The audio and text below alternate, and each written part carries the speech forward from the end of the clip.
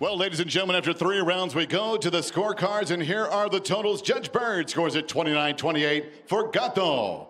D'Amato has it 30 27 for Lipski. And Judge Lee 29 28 for your winner by split decision, the Queen of Violence, Ariane Lipski.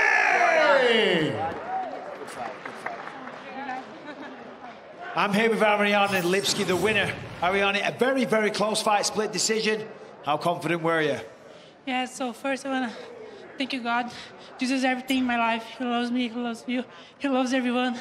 He made me a new person, and I'm just here because of Him. So, Melissa's a tough fighter, tough opponent, opponent. so I'm happy to get this win. Uh, everyone before the fight was like, "Hey, how many, how much time until you get your KO in UFC?" I was like, "Man, I just want to win, you know, uh, go for the, the top of my division." And thank you to my head coach, Renato, my husband. He was his birthday this week. We, we couldn't celebrate because it was a fight week, so that's my gift for you, Jenna. Um, Jasmine my jiu-jitsu coach, Des, my wrestling coach.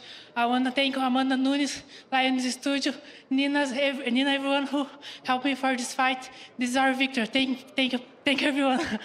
Well, happy birthday to your husband. It seemed like the approach was, it seemed like you were concerned about the takedown threat. So you were trying to time the combinations. Am I correct? Yes, exactly. So she she doesn't have like a, a, a, takedown. she trying to go to the back, even if she doesn't get the takedown. So she's dangerous in that position. So I was like, I want to, I, I, did, I didn't want to a short distance with her, and she she she went to the position. So I was well trained. So I get off and I got doing.